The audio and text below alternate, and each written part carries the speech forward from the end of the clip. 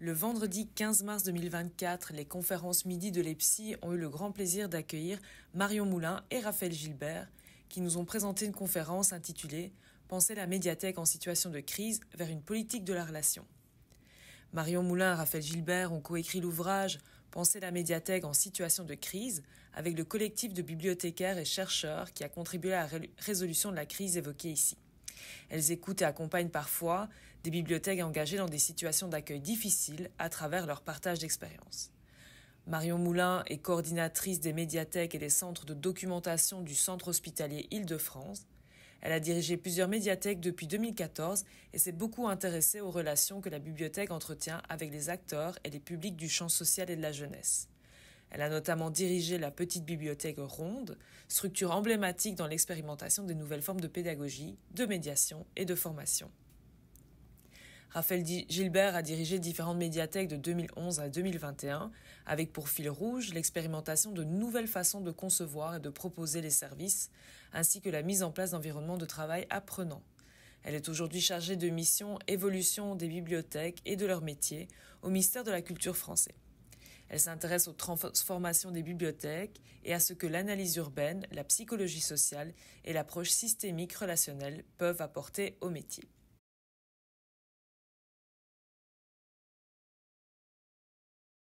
On travaillait avec euh, Marion dans la même bibliothèque en banlieue proche euh, de Paris. Euh, à la fin des années, des années 2010, on a connu dans cette bibliothèque des situations de, de tension, d'accueil et de crise assez aiguës. Et on en a relaté l'expérience dans un livre qui s'appelle Penser la, bibliothèque en situation de, de crise. Et donc, c'est à partir de cette expérience-là qu'on va vous parler aujourd'hui. Alors, pour vous donner quelques éléments de contexte euh, avant de, démarrer, euh, c'est une bibliothèque qui avait ouvert au début des années 2010.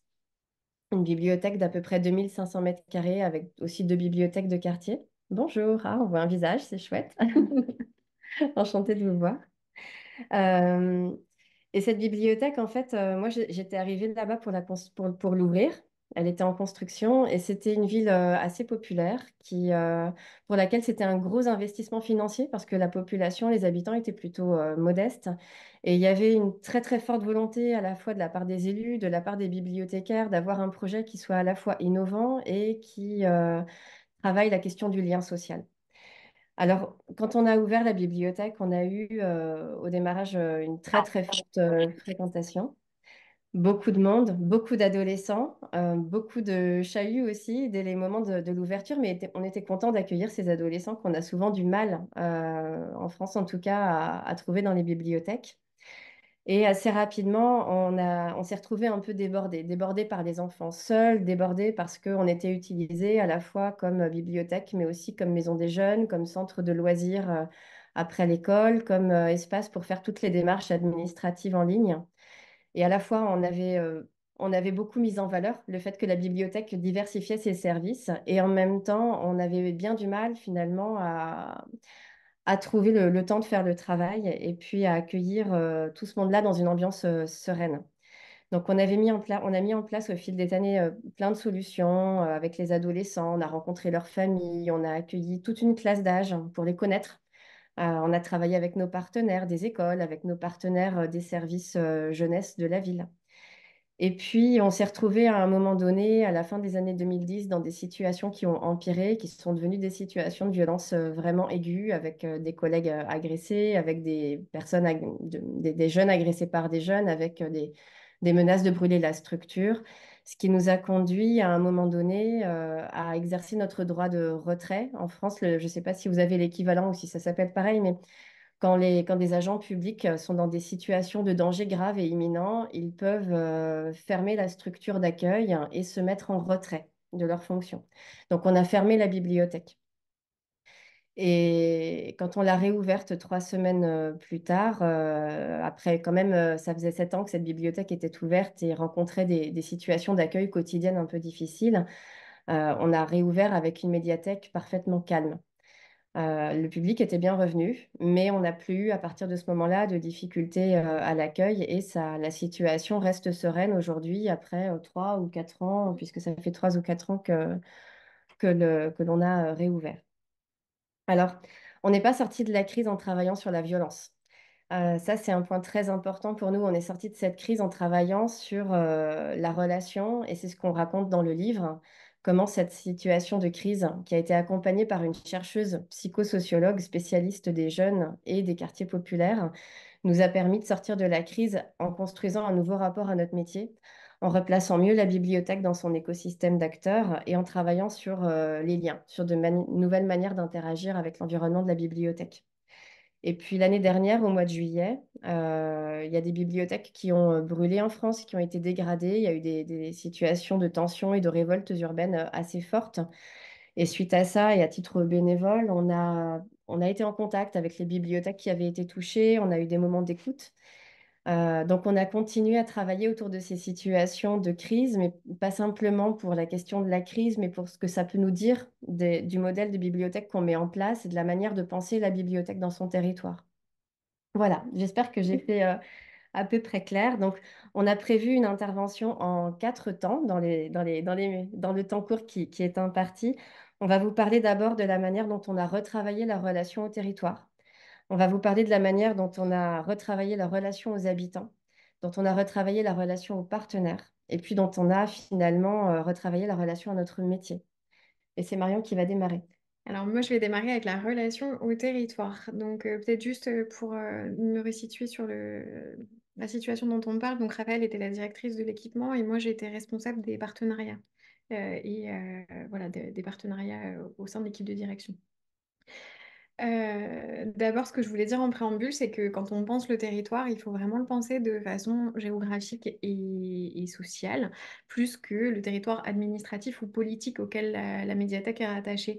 Je ne sais pas comment ça fonctionne au Québec, chez vous, mais euh, en France, il y a vraiment beaucoup de strates administratives et politiques, et les médiathèques de lecture publique peuvent dépendre de d'horizons différents. Elles peuvent dépendre des mairies, elles peuvent dépendre des communautés d'agglomération, des métropoles. C'est qu'on a des tutelles très variables avec des politiques et des élus euh, variables. Donc quand on parle du territoire, on est vraiment sur cette question euh, locale et qu'on a un peu perdu de vue parfois et non pas politique et administrative de, référence euh, qui est notre, notre tutelle. ce que la recherche intervention dont a parlé Raphaël avec la, la psychosociologue Joëlle Bordet a amené dans notre lien au territoire, ça a été de s'intéresser de nouveau à une vraie analyse structurelle du quartier et des dynamiques qui le traversent. C'est-à-dire euh, ne pas se contenter euh, d'étudier l'aménagement euh, urbain du quartier, mais vraiment s'intéresser aux dynamiques politiques, aux dynamiques économiques, aux dynamiques sociales qui la font. par exemple, en fait, le quartier dans lequel on était, c'était un quartier très neuf, euh, qui avait euh, une dizaine d'années, enfin qui est né en même temps que la médiathèque en fait, hein, en même temps que son ouverture.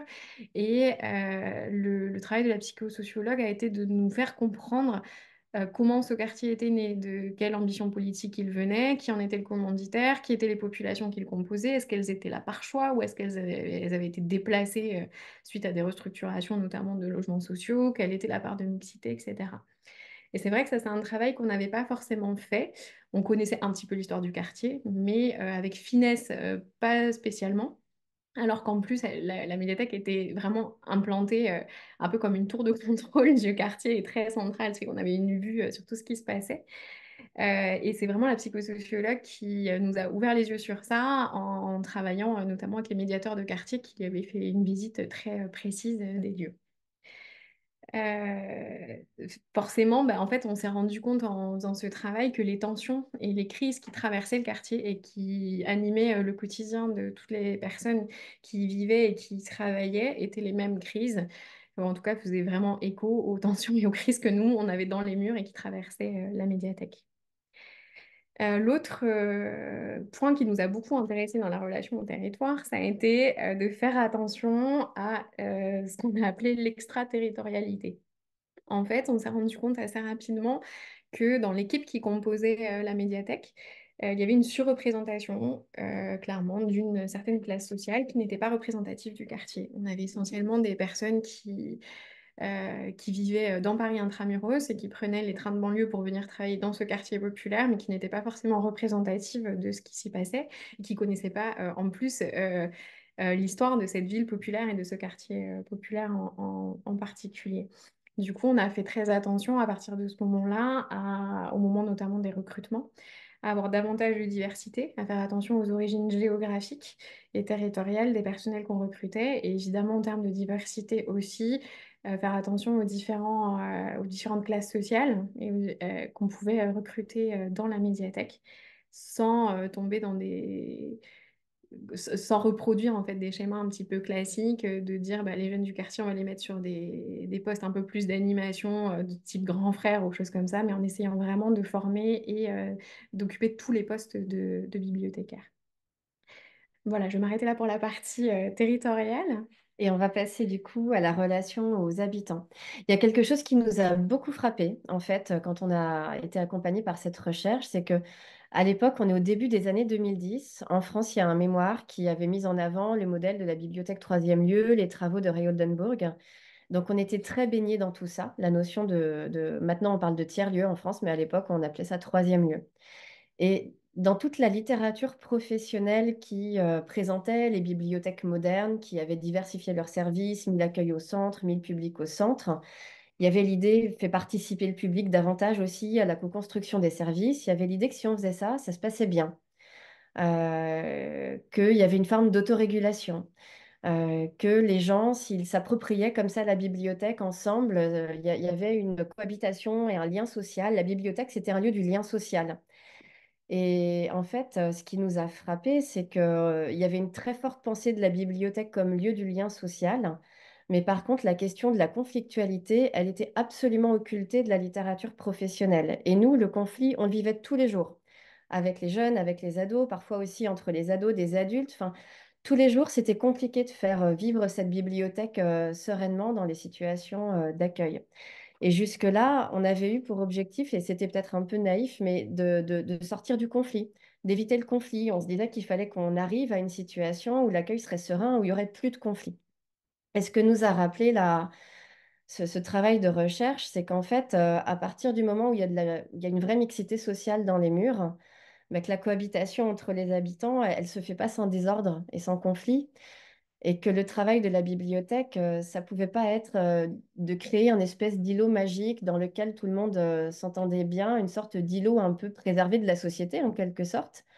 À Oldenburg, on en a souvent repris que les gens ils laissent à la porte leur habitus social. Je ne sais pas si on peut laisser à la porte son habitus social. En tout cas, chez nous, ça marchait pas.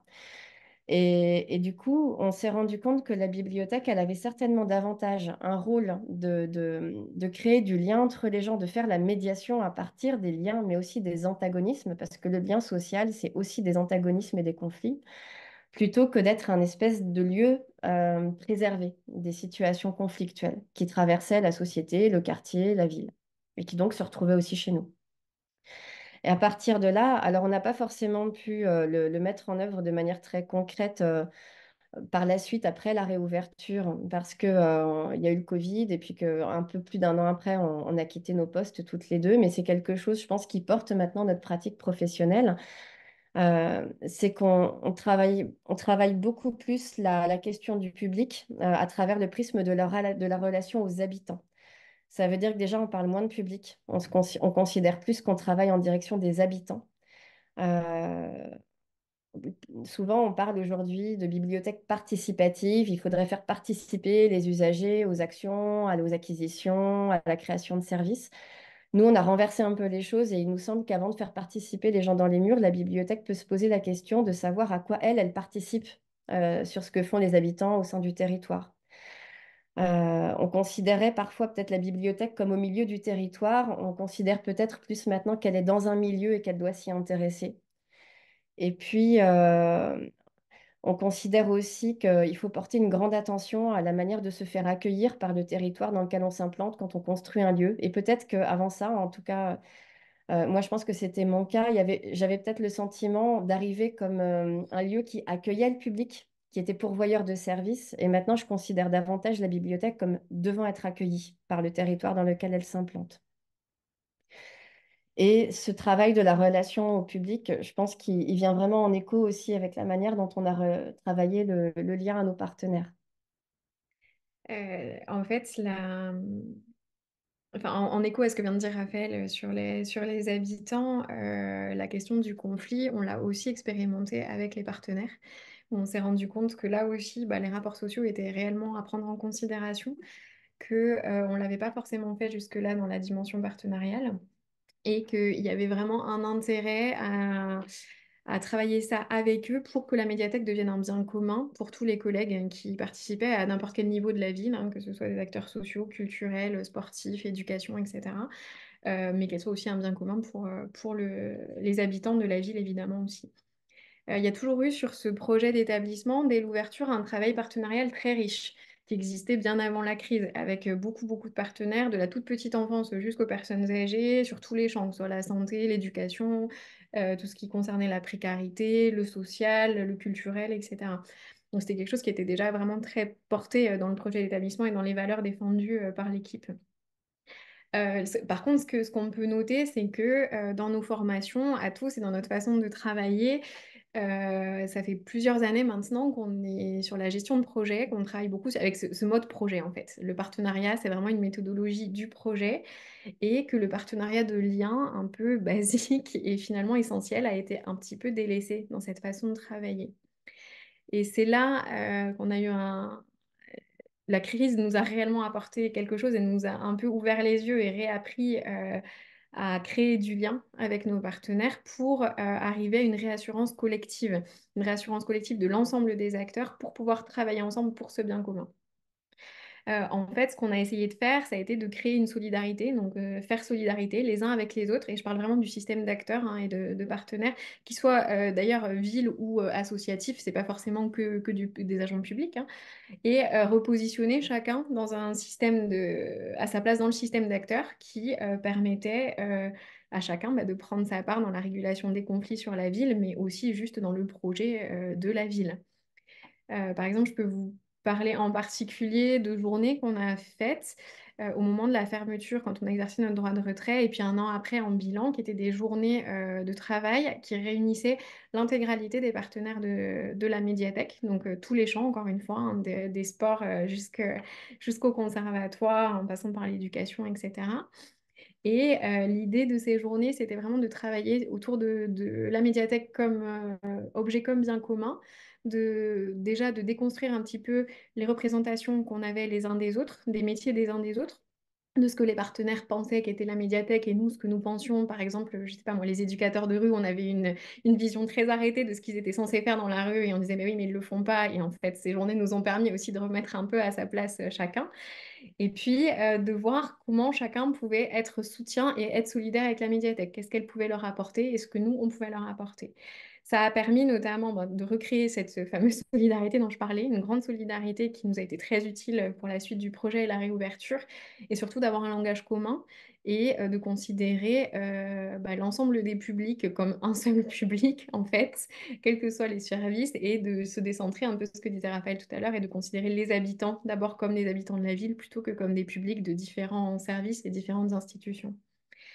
Euh, le partenariat de lien dont je parlais, en fait, c'est un peu ça, c'est apprendre à se connaître et prendre le temps sans vouloir à tout prix être productif toujours, euh, sortir d'une réunion avec un projet arrêté, avec des échéances, un calendrier. Mais on a vu combien il était essentiel en fait pour la suite, de, que cette connaissance, elle était essentielle et qu'on ne pouvait pas passer à côté.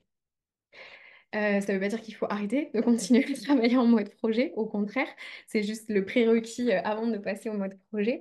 Et euh, par contre, ce qui nous a semblé important aussi, c'est dans tous les projets qu'on a construits ensuite, de réaffirmer notre fonction et notre place en tant que médiathèque. C'est-à-dire que si on intervenait dans un champ quel qu'il soit, par exemple la santé, par exemple le social, c'était à travers notre fonction culturelle d'abord et avant tout, en soutien à ces, à ces secteurs-là. Voilà pour la partie partenariale. Et pour finir, ce qu'on peut dire, c'est que cette recherche, cette traversée de crise et cette euh, recherche, ça a vraiment transformé notre relation à notre euh, métier. Alors, à l'époque, je vous ai dit, on, était très inspiré par la notion de troisième lieu et aujourd'hui, ça s'appelle tiers-lieu. Il y a des choses qu'on en a gardées. On a gardé l'idée que les bibliothèques peuvent avoir plein de profils atypiques euh, et faire une grande diversité, de, avoir besoin d'une grande diversité de compétences. Par contre, on a lâché l'idée du couteau suisse qui fait tout. et le culturel et l'éducatif et le social, parce que le couteau suisse, ça fait tout, mais ça fait pas tout très bien. Et qu'on s'est aperçu qu'il fallait davantage jouer sur la complémentarité entre les acteurs. On a gardé la diversification des services, mais comme le disait Marion, en s'assurant toujours qu'ils étaient bien rattachés à notre plus-value à nous, la bibliothèque, ce qu'allaient pas faire les autres, et qui était plutôt la plus-value culturelle. Et puis, euh, on a continué de travailler à proposer d'un lieu moderne, accueillant, euh, mais en, lâchant l'idée qui était très, très présente en France, en tout cas à ce moment-là, je ne sais pas chez vous, mais que la bibliothèque, c'était l'agora, c'était l'espace public. Ça, je vais, je vais y revenir. En fait, on a beaucoup, on est revenu à ce modèle du tiers-lieu qui avait été importé en France à partir euh, de l'Amérique du Nord, hein, des bibliothèques qui s'en étaient emparées chez vous. Et on s'est rendu compte, du coup, on a lu Ray Oldenburg, on a lu avant Jane Jacobs, qui a énormément inspiré euh, Ray Oldenburg. Et on s'est rendu compte qu'on l'avait presque importé à contresens de son sens initial. Et que c'était super intéressant de revenir à ses origines systémiques et à ses origines euh, socio-urbaines. Euh, parce qu'en gros, on avait importé le troisième lieu en se disant que la bibliothèque, c'était ce lieu de la sociabilité. Euh, et finalement, c'était le lien social dans la bibliothèque, la, diversification des services dans la bibliothèque, la mixité sociale dans la bibliothèque, euh, des relations de co-construction, de participation avec le public dans la bibliothèque. On avait importé ça comme un modèle de l'intérieur de la bibliothèque, alors qu'à la base, et puis en plus, on l'avait importé comme un modèle très centralisateur, c'est-à-dire qu'en France, en tout cas, on disait à la fois on est le lieu de la sociabilité, c'est le troisième lieu, mais les gens ils viennent aussi travailler, c'est le deuxième lieu, et puis c'est la bibliothèque comme à la maison, c'est le premier lieu. On faisait tous les lieux en quelque sorte. Et on s'est rendu compte qu'à la base, c'est pas du tout ça le projet du troisième lieu. Roldenburg, il s'était vraiment inspiré de Jane Jacobs, qui défend justement le fait de considérer la ville avec la diversité des acteurs qui la font. Elle considère que c'est comme ça qu'on peut revitaliser les espaces publics, les rues, c'est parce qu'il y a justement une diversité d'acteurs qui font la ville, que les gens circulent entre ces acteurs, qu'il y a une vie urbaine et qu'il y a du lien social au sein des villes. Et c'est absolument pas en mettant toutes les fonctions au sein d'un seul acteur. C'est ce contre quoi justement elle s'érigeait. Et on s'est rendu compte qu'il fallait peut-être faire attention à ce que, euh, de la même manière que parfois la maison idéale qui comprendrait la piscine, le billard, euh, les barbecues, s'était substituée à la ville idéale, il ne faut pas que la médiathèque idéale se substitue à la ville idéale. Disons qu'on considère aujourd'hui que la médiathèque, pardon, elle a pour objectif vraiment de servir la ville, de servir la mixité et le lien social au sein de la ville et pas seulement intramuros pour elle. Euh, donc, ce qu'on peut dire, c'est que d'une certaine manière, cette recherche, elle nous a permis vraiment de, dézoomer euh, et de regarder beaucoup plus la bibliothèque, moins comme un équipement entre ses murs que comme euh, vraiment un, lieu qui est situé sur une carte des interdépendances. Et ce que nous a appris cette traversée de crise, c'est qu'on ne pouvait pas tenir seul des politiques publiques et que ça nécessitait euh, d'être tenu euh, ensemble, entre partenaires, et que pour tenir ça entre partenaires, ça, ça supposait aussi d'accepter qu'on était un tiers, et ça veut dire qu'un tiers, qu'on ne peut pas tout faire et qu'on a besoin des autres et de leur complémentarité. Voilà, on a essayé de tenir les 20 minutes. Un très grand merci. Effectivement, c'est un bel exercice. Puis je suis sûre qu'il y a tellement d'autres choses à dire que merci pour l'exercice d'avoir contenu ça euh, durant notre temps limité. Euh, je vais peut-être inviter euh, nos participants et les collaborateurs à prendre la parole. Et si vous avez des questions, des commentaires, allez-y, profitez-en. Le thème est extrêmement riche et extrêmement porteur, donc n'hésitez pas. Sinon, je me lance. Hein. J'ai des listes de questions. oui, c'est ça. Je vais me lancer, puis euh, n'hésitez pas, n'hésitez pas. Je pense notamment aux étudiants qui, qui, doivent se poser des questions qui vont dans le même sens de, de, ce dont vous avez parlé. Je, je suis vraiment tout à fait euh, euh, enthousiaste par tout ce que vous venez de dire et j'aime énormément tout ce que vous avez exposé, les différentes relations et liens et comment replacer la bibliothèque dans un contexte social, géographique et social qui est vraiment concret finalement, et revoir tout le fonctionnement à travers ces relations-là, puis à travers la relation avec nos partenaires, le territoire, etc. Je pense que c'est fondamental. Puis c'est des questions qui sont de plus en plus euh, présentes, que ce soit au sein des archives ou des bibliothèques, je pense un peu partout. Ça, c'est des questions qui remontent un petit peu en surface.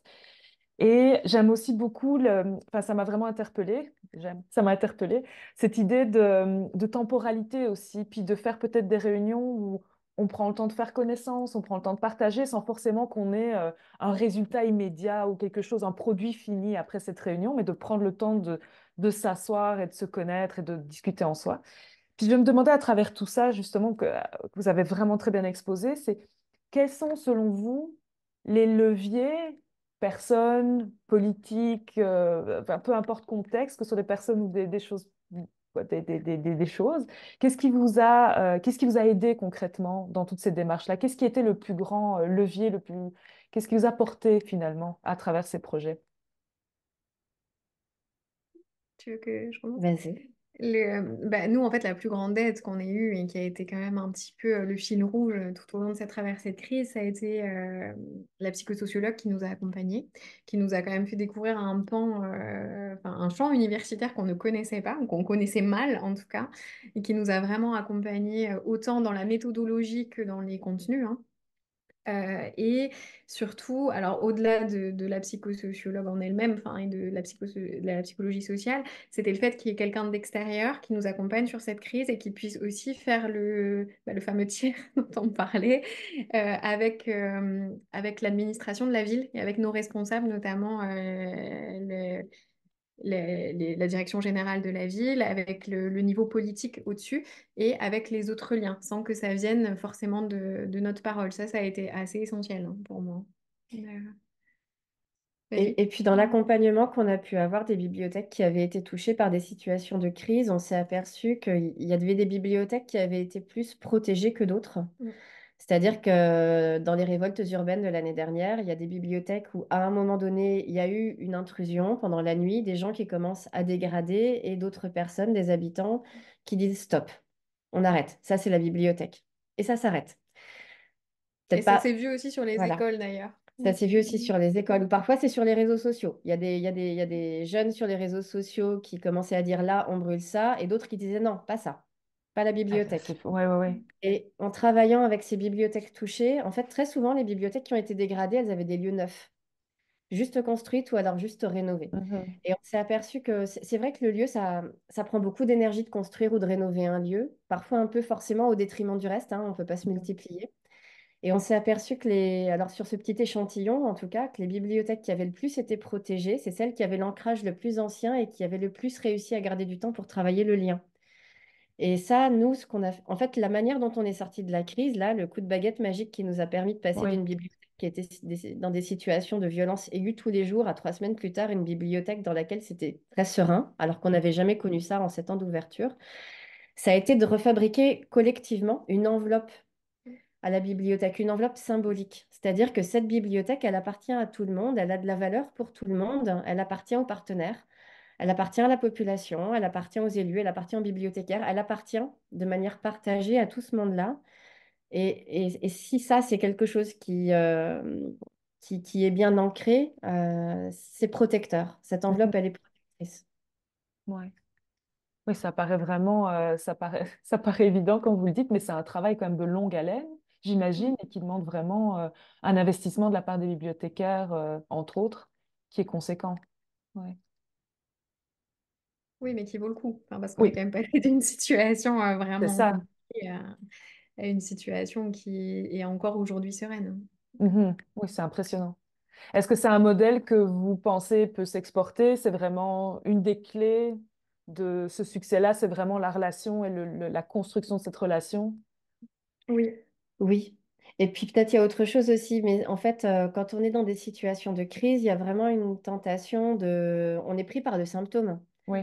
Euh, nous, on était pris par les incivilités quotidiennes et puis par, à la fin par les situations de violence. Quoi. C'était notre problème à régler au mmh quotidien. Et en fait, avec la chercheuse, on a réussi à, se décentrer du symptôme, de ce qui se faisait mal, pour chercher les causes de ce qui faisait mal. Et les causes, mmh. elles n'étaient pas forcément au niveau du symptôme.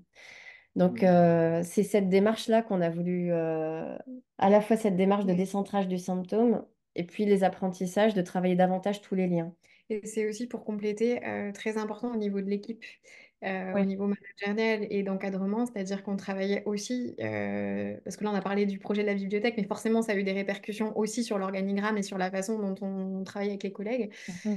Et on, travaillait sur le symptôme avec les collègues aussi, à savoir leur souffrance, parce que plus ah personne de venir travailler. Il y avait un gros turnover et même pour nous, c'était très difficile. Et du coup, on s'enlisait dans une forme de, bah, de pansement, là, puis là, puis là, puis là, parce que mmh ça prenait un peu l'eau de toutes parts. Et euh, voilà, c'était vraiment cet exercice de dire, OK, on appuie sur stop, on fait une pause, on se met de côté, on décentre, et là, on arrête de, de, de regarder les, les, petits bobos un peu partout, et on va essayer de comprendre ce qui se passe, quoi. Mhm. Est-ce que ça a été difficile de, de, de... Parce que ce qu'on comprend vraiment, c'est que c'est un changement de perspective que vous avez opéré assez radical finalement, qui est difficile puisque vous êtes en situation de souffrance. Donc il y a ce changement et dire non, on ne regarde pas ça, on va radicalement essayer de travailler sur quelque chose. Est-ce que c'était difficile à faire, euh, à mettre en place, à faire comprendre par les partenaires, par les collègues? Oui, on va pas dire que c'était facile même pour nous. Après, encore une fois, euh, nous, on a été, enfin, on a eu cette chance incroyable d'être accompagnés par cette psychosociologue. C'est elle qui nous a obligés à changer de, de braquet, en fait, et à changer de regard. Peut-être que nous, on l'aurait fait, mais après combien de mois et après combien d'années, je sais pas. Et c'est elle qui nous a obligés. Nous, on était euh, dans l'équipe de direction, donc forcément, bah, Raphaël a impulsé ça en tant que directrice, et nous, l'équipe de direction, on a suivi, euh, voilà, mais sans, sans forcément, euh, on n'a pas fait une réunion avec toute l'équipe pour leur dire à partir du moment où on, on travaille différemment. En fait, ça s'est fait euh, ça s'est distillé et ça a été fait de façon un peu perlée sur la durée avec l'équipe. C'est juste qu'on a changé, nous, notre façon de travailler avec eux et de fait, ça a permis de travailler autrement pour eux aussi. Quoi. Mais c'est vrai que c'est pas facile, il faut accepter le trouble parce qu'en fait, mhm. euh, la tentation, ça peut être de considérer que la crise, euh, c'est un, un, accident dans une ligne droite. et qu'on va passer à autre chose. Et en fait, là, la démarche, c'était aussi d'accepter qu'il y a des choses qu'on n'avait pas vues, Mmh euh, qu'il y avait des choses qui, qu'on aurait dû faire autrement. Donc, c'était aussi accepter qu'on n'était pas juste la victime des incivilités des jeunes, mais que dans la façon dont on avait pensé la présence de la bibliothèque euh, sur ce territoire, il y avait des impensés qui étaient en partie responsables de notre situation. Donc, c'était difficile parce qu'à la fois, c'était une situation de grande souffrance pour l'équipe, à la fois, il fallait accepter notre part euh, aussi de responsabilité, mmh pour moi notamment qui était là depuis le début du projet, je pense qu'il y avait une grande part de responsabilité. Et puis, il fallait euh, changer, le, changer de manière assez radicale sur certains points de, de, conduire les choses. Donc, pour l'équipe, ça faisait beaucoup de choses en même temps. Oui, c'est ça. Ouais. Mais l'équipe, on avait quand même une chance, c'est qu'il y a une équipe qui a jamais euh, lâché le fait de, de, travailler pour et avec le public. Mmh oui. L'équipe, elle voulait continuer à accueillir ces publics avec lesquels souvent c'était difficile. Et je pense que mmh sans ça, on n'aurait pas pu faire ce, cette sortie de crise, en fait. Mmh il y avait ça n'a pas été une sortie de crise contre le public. Mais il y avait une mission, il y avait quelque chose au loin que les gens suivaient et, voulaient maintenir finalement dans, dans, à travers tout ça. Mm. Mm-hmm. Est-ce qu'il y a des questions, des commentaires, des réactions, des émois à travers notre public? Alors, je vois qu'il y a une question qui a été posée dans ah, le oui, pardon, pardon, Jacquette, je n'avais pas vu. Merci beaucoup. J'avais dit que je m'occupais de ça, puis je n'ai pas vu. Ah, je peux la lire hein, si jamais. Merci pour cette belle présentation. Vous avez mentionné que vous avez eu recours à des partenaires pour arriver à sortir de la crise. J'aimerais savoir vers quels partenaires vous vous êtes tourné et vous allez les chercher ou alors sont-ils venus vers vous? En fait, on n'a pas eu de nouveaux partenaires que ceux qui étaient déjà là avant. C'est juste qu'on a retravaillé différemment avec eux. Mais euh, bah, encore une fois, on alors on a beaucoup, beaucoup travaillé avec chez nous ce qu'on appelle les, secteurs de l'enfance et de l'éducation. Donc, ce sont tous les animateurs et qui s'occupent euh, hors du temps scolaire, sur le temps périscolaire et euh, week-end et vacances, des enfants, en gros, euh, de l'âge de, 6 ans jusqu'à 25 ans, enfin des jeunes jusqu'à ouais, 20-25 ans. Donc on a beaucoup retravaillé la relation avec eux, puisque c'était peut-être avec eux que c'était le plus dégradé. Euh, notamment parce que nous, on avait une très forte fréquentation de jeunes de la ville et que eux, pas du tout, et on comprenait pas pourquoi ils étaient tous chez nous et pas chez eux. Enfin, je, le dis de façon très caricaturale et rapide, mais en gros, c'est un petit peu ça quand même. Donc, on a beaucoup travaillé avec eux. On a peut-être dans les ceux avec lesquels on ne travaillait pas trop avant, mais je pense notamment au service des sports et qui finalement a été enfin, euh, les, collègues des sports ont été intégrés dans toutes ces journées euh, partenariales. Et euh, quand on a réouvert la médiathèque, ils étaient présents. Et ils étaient là aussi. on avait fait des stands en fait à l'ouverture devant à l'entrée de la médiathèque et tout le monde pouvait discuter avec les jeunes. Et il y avait notamment les services des sports. Et pour les jeunes qui fréquentaient la médiathèque, bah, c'était assez inédit de voir leurs animateurs, enfin leurs voilà, le, prof de foot, euh, l'entraîneur de foot ou euh, de, la piscine qui était là pour euh, discuter avec eux à la médiathèque. Donc ça, ça a permis de recréer aussi une autre relation avec les jeunes. Et on a aussi beaucoup travaillé, mais ça, c'était un travail qui existait déjà auparavant, avec l'éducation nationale, donc avec les collèges, notamment les adolescents, et avec chez nous ce qu'on appelle les CPE, qui sont les conseillers principaux d'éducation, hein, qui gèrent toutes les questions d'éducation et de et de comment dire comportementale, mais pas que, enfin voilà, de vie scolaire dans les établissements. Donc on a retravaillé avec eux. Et le dernier point peut-être, c'est les centres sociaux. Qui, pareil, ont travaillé avec eux, mais plutôt sur des actions spécifiques. Donc, on revient sur la question du projet, etc. Et là, ça a été peut-être de repositionner la présence de chacun dans les quartiers, et notamment dans ce quartier où on était un peu le seul service public. Et bah, de fait, les, services, enfin, le, centre social de proximité, enfin, qui était le plus près, a commencé à faire des permanences hors les murs. De façon régulière le samedi dans le quartier le service jeunesse aussi, voilà, c'était... Mais il n'y a pas eu vraiment de nouveaux partenaires, en fait. Hein. C'est juste qu'on a retissé les liens avec les partenaires qu'on avait déjà sur la ville. C'est ça. Sarah, je te laisse la parole. Oui, merci. Euh, ben, en fait, merci d'abord pour la présentation. C'est vraiment super intéressant. Euh, je me demandais, dans le fond, concrètement, euh, ça veut dire qu'à partir d'aujourd'hui, puis vous disiez que depuis la réouverture, les choses se passent, se passent bien. Euh, on n'est pas retourné dans ces, conflits-là d'auparavant. Ça veut dire que dans le quotidien, euh, le personnel de la médiathèque peut-être met, met, plus en valeur les autres services qui sont offerts pour la population pour peut-être rediriger ces besoins-là vers d'autres ressources que la bibliothèque elle-même. Puis après ça, ça permet dans le fond de recentrer la bibliothèque comme de ses fonctions peut-être un peu plus euh, primaires. En fait, à la fois, on a vraiment réaffirmé notre fonction culturelle parce qu'il y avait un petit peu un côté, la bibliothèque sert à tout faire, le social, le numérique, l'éducatif, le culturel. Et on a continué à faire du social, du numérique, de l'éducatif, mais en s'assurant que c'était toujours à partir de notre plus-value culturelle et sans prendre la place des autres acteurs. Hein. Et donc, ce n'était pas un renoncement à la diversification ou à la modernisation des bibliothèques, ce n'était pas un retour au modèle d'avant, c'était vraiment continuer et ajuster à partir de la, du modèle qui était moderne à ce moment-là. Et, oui, en fait, quand on a réouvert, on a réouvert avec tous les partenaires et puis on avait aussi, en fait, on redirigeait aussi les, jeunes euh, vers la, la diversité d'interlocuteurs qu'ils pouvaient avoir au sein de la ville pour bien montrer que euh, face à toutes leurs envies et leurs besoins, on, était plusieurs et que la bibliothèque, elle ne pouvait pas centraliser tous les usages et toutes les attentes, en fait. Mm. Sinon, on était embolisés et on n'arrivait plus à avoir une diversité des publics non plus, parce que les ados, ils savent faire ça très bien, de prendre toute la place avec leur corps en plus, hein, avec le son, etc. Donc, euh, il fallait qu'ils trouvent, qu'ils continuent de trouver une place dans la bibliothèque, mais que les autres puissent aussi y rester et que ça cohabite bien. Mm-hmm. C'est ça, et particulièrement sur la question du numérique, c'est vrai qu'on n'en a pas du tout parlé. Mais je ne sais pas comment ça se passe chez vous, mais c'est vrai qu'en France, depuis maintenant euh, une bonne quinzaine d'années, les médiathèques sont complètement euh, embolisées par la question du numérique et de la dématérialisation des services publics, avec une grosse euh, fracture numérique qui nous impacte directement, puisque les gens viennent pour faire leurs démarches. Et, ça, et en fait, nous, ce qu'on n'avait pas forcément mesuré, c'est que la modernité de notre structure et le fait qu'elle soit neuve fait qu'on était extrêmement bien équipés en termes d'ordinateurs, d'informatique, ce qui n'était pas du tout le cas des autres services de la ville et notamment des centres sociaux. Et ça a aussi permis euh, de retravailler ça à l'échelle de la ville, sur la question par exemple de la tarification euh, des impressions, de l'accès à Internet, et que la ville s'empare de ce sujet et puisse euh, un petit peu décharger la médiathèque de ces sujets-là en équipant en poste informatique le centre social, etc. On s'est rendu compte aussi qu'il y avait une partie très positive dans la diversification de nos services hein, qu'on a conservé mais d'une certaine manière, sur d'autres aspects, notamment c'est ce, dont ce que, ce que vient d'évoquer Marion, on palliait en fait. Mm.